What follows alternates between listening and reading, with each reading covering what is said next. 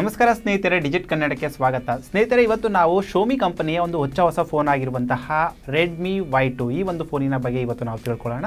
So ಸ್ನೇಹಿತರೆ, ಇಲ್ಲಿ ನೋಡ್ಬೋದು ಈ ಒಂದು ಫೋನ್ ಏನಿದೆ. ಸೊ ಈ ಫೋನ್ ಈ ರೀತಿಯಲ್ಲಿ ಒಂದು ಆಗಿರುತ್ತೆ. ಇಲ್ಲಿ ನೋಡ್ಬೋದು. ಸೊ ಸ್ನೇಹಿತರೆ, ಈ ಒಂದು ಫೋನ್ ಸ್ನೇಹಿತರೆ ಶೋಮಿ ಕಂಪ್ನಿಯವರು ಈ ವರ್ಷ ಲಾಂಚ್ ಮಾಡಿದ್ದಾರೆ ಸ್ನೇಹಿತರೆ. ಸೊ ಈ ವರ್ಷ ಶೋಮಿ ಕಡೆಯವರು ಹಲವಾರು ರೀತಿಯ ಒಂದು ವೇರಿಯಂಟ್ಗಳನ್ನ ತಂದಿದ್ದಾರೆ. ಸೊ ಈ ವರ್ಷ ಅದ್ರ ಜೊ, ಅದೇ ಒಂದು ವೇರಿಯಂಟ್ ಜೊತೆಗೆ ಈ ಒಂದು ಫೋನ್ ಕೂಡ ಲಾಂಚ್ ಮಾಡ್ಕೊಂಡಿದ್ದಾರೆ. ಸೊ ಈ ಫೋನ್ ಏನಿದೆ ಸ್ನೇಹಿತರೆ, ನನ್ನ ಹತ್ರ ಇರೋದು. ಇದು ಮೂರು ಜಿ ಬಿ ರ್ಯಾಮ್ ಮತ್ತು ಮೂವತ್ತೆರಡು ಜಿ ಬಿಯ ಸ್ಟೋರೇಜ್ ಜೊತೆಗೆ ಬರುತ್ತೆ. ಇದು ನಿಮಗೆ ಮಾರುಕಟ್ಟೆಯಲ್ಲಿ ಸ್ನೇಹಿತರೆ ಒಂಬತ್ತು ಸಾವಿರದ ಒಂಬೈನೂರ ತೊಂಬತ್ತೊಂಬತ್ತು ರೂಪಾಯಲ್ಲಿ ಇದು ನಿಮಗೆ ಲಭ್ಯವಾಗುತ್ತೆ.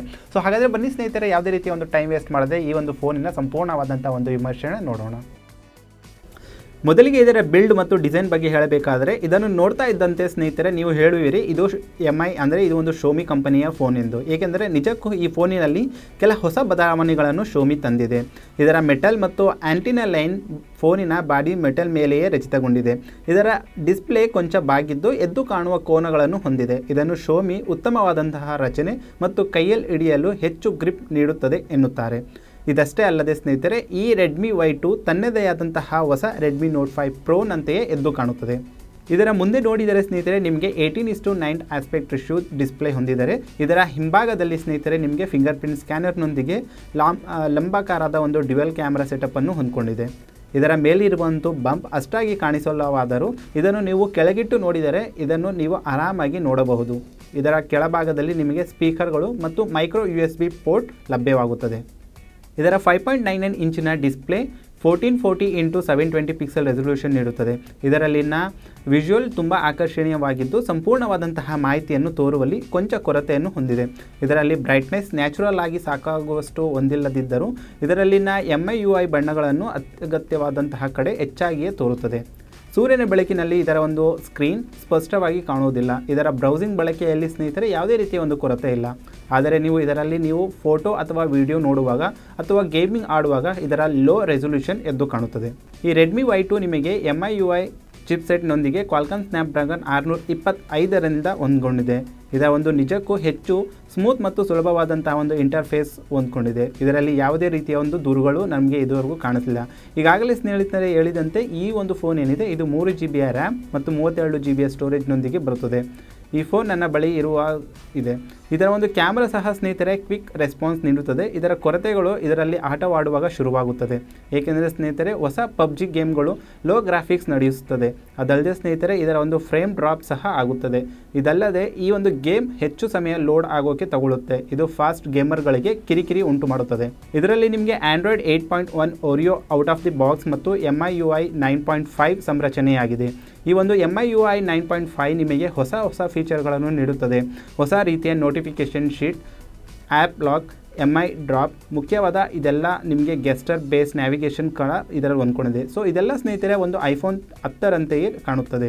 ನೀವು ಇದರಲ್ಲಿ ಸ್ವೈಪ್ ಆಫ್ ಮಾಡಿದರೆ ಬ್ಯಾಕ್ ಹೋಗ್ಬೋದು ಇದನ್ನು ನೀವು ಸ್ವೈಪ್ ಮಾಡಿ ಕೆಳಭಾಗದಲ್ಲಿ ಹಿಡಿದು ಹಿಡಿದಿಟ್ಟುಕೊಂಡರೆ ಇದರಲ್ಲಿ ರೀಸೆಂಟ್ ಮೆನ್ಯೂಗೆ ಹೋಗಬಹುದು. ಒಂದು ವೇಳೆ ನೀವು ಸ್ವೈಪ್ ಸೈಡ್ ಮಾಡಿದರೆ ಇದು ನಿಮಗೆ ಡೈರೆಕ್ಟಾಗಿ ಹೋಮ್ ತಗೊಳ್ಳೋ ಹೋಗುತ್ತೆ. ಈಗ ಇದರ ಕ್ಯಾಮ್ರಾ ಬಗ್ಗೆ ಮಾತನಾಡೋಣ ಸ್ನೇಹಿತರೆ. ಇದರಲ್ಲಿ ನಿಮಗೆ ಹದಿನಾರು ಮೆಗಾ ಪಿಕ್ಸೆಲ್ ಫ್ರಂಟ್ ಕ್ಯಾಮ್ರಾ ನಿಜಕ್ಕೂ ಅತ್ಯುತ್ತಮವಾದಂತಹ ಒಂದು ಸೆಲ್ಫಿ ಕ್ಯಾಮ್ರಾವಾಗಿದ್ದು ಅದ್ಭುತವಾದಂತಹ ಸೆಲ್ಫಿಗಳನ್ನು ಪಡೆಯುವುದರಲ್ಲಿ ಯಾವುದೇ ರೀತಿಯ ಒಂದು ಸಂದೇಹವಿಲ್ಲ.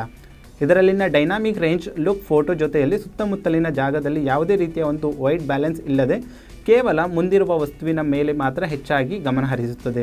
ಇದರ ಒಂದು ಬ್ಯಾಕ್ನಲ್ಲಿರುವಂತಹ ಒಂದು twelve plus five megapixel ನಿಜಕ್ಕೂ ಫ್ರಂಟಲ್ಲಿ ನೀಡಿರುವಂತಹ ಒಂದು ಹದಿನಾರು ಮೆಗಾ ಪಿಕ್ಸೆಲ್ಗಿಂತ ಹೆಚ್ಚು ಚೆನ್ನಾಗಿದೆ. ಇದರಲ್ಲಿ ತೆಗೆದ ಈ ಫೋಟೋಗಳು ಬೆಳಕನ್ನು ಉತ್ತಮವಾಗಿ ಸೆರೆ ಹಿಡಿಯುವುದು ನಿಮಗೆ ಅತ್ಯುತ್ತಮವಾದಂತಹ ಫೋಟೋಗಳನ್ನು ನೀಡುತ್ತದೆ.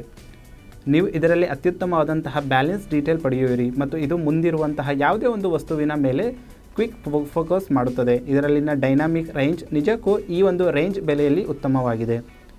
ಇದರಲ್ಲಿನ ವೈಟ್ ಬ್ಯಾಲೆನ್ಸ್ ಮತ್ತು ಇದರ ಒಂದು ಶಾರ್ಪ್ ಇಮೇಜ್ ನಿಜಕ್ಕೂ ಹೆಚ್ಚು ಡೀಟೇಲ್ಸ್ ಕವರ್ ಮಾಡುತ್ತದೆ. ಇದಲ್ಲದೆ ಸ್ನೇಹಿತರೆ, ನಿಮಗೆ ಇದರಲ್ಲಿ ಪೋರ್ಟ್ರೇಟ್ ಮೋಡ್ ಅಷ್ಟಾಗಿ ಬಯಸಲು ಸಾಧ್ಯವಿಲ್ಲವಾದರೂ ಒಂದು ರೀತಿಯಲ್ಲಿ ಇದು ಈ ಬೆಲೆಯ ಒಂದು ರೇಂಜಲ್ಲಿ ಉತ್ತಮವಾಗಿ ಕೆಲಸ ಮಾಡುತ್ತದೆ.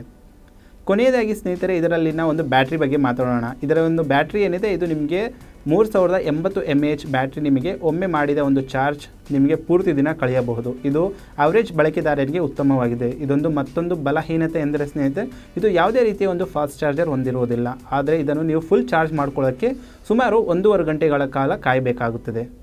ಸ್ನೇಹಿತರೆ ನೋಡಿದ್ರಲ್ಲ, ಈ ಒಂದು ಫೋನಿನ ಸಂಪೂರ್ಣವಾದಂಥ ಒಂದು ವಿವರಣೆ. ಸೊ ಸ್ನೇಹಿತರೆ, ಈ ಒಂದು ವಿಡಿಯೋ ಬಗ್ಗೆ ನಿಮ್ಮ ಅನಿಸಿಕೆ ಮತ್ತು ಅಭಿಪ್ರಾಯಗಳನ್ನ ನೀವು ಕಮೆಂಟ್ ಸೆಕ್ಷನಲ್ಲಿ ಕಮೆಂಟ್ ಮಾಡ್ಬೋದು. ಒಂದು ವೇಳೆ ನಿಮಗೆ ರೆಡ್ಮಿ ವೈ ಟೂ ಒಂದು ಫೋನಿನ ಬೇರೆ ಯಾವುದಾದ್ರೂ ಒಂದು ಫೋನ್ ನೀವು ಕಂಪ್ಯಾರಿಸನ್ ಮಾಡಬೇಕು ಅಂತ ಇಷ್ಟಪಟ್ಟರೆ ಆ ಫೋನಿನ ಒಂದು ಹೆಸರು ಮತ್ತು ಅದರ ಒಂದು ಬೆಲೆನ ನೀವು ಕಮೆಂಟ್ ಸೆಕ್ಷನಲ್ಲಿ ಮಾ ಕಮೆಂಟ್ ಮಾಡ್ಬೋದು. ಅದರ ಸಂಪೂರ್ಣವಾದಂಥ ಮಾಹಿತಿಯನ್ನು ಮತ್ತೆ ಮುಂದೆ ಬರುವಂತಹ ವಿಡಿಯೋದಲ್ಲಿ ನಾನು ನಿಮಗೆ ತೋರಿಸ್ತೀನಿ. ಸೊ ಮುಂದಿನ ವಿಡಿಯೋಗಾಗಿ ಸ್ನೇಹಿತರೆ, ನೀವು ಡಿಜಿಟ್ ಕನ್ನಡ ಫೇಸ್ಬುಕ್ ಪೇಜ್ನ ಫಾಲೋ ಮಾಡ್ಬೋದು ಮತ್ತು ಯೂಟ್ಯೂಬ್ ಚಾನಲ್ನ ನೀವು ಸಬ್ಸ್ಕ್ರೈಬ್ ಮಾಡ್ಕೊಳ್ಳಿ. ಇದೇ ರೀತಿಯ ಒಂದು ವಿಡಿಯೋಗಳನ್ನ ನೀವು ಪಡ್ಕೊತಾ धन्यवाद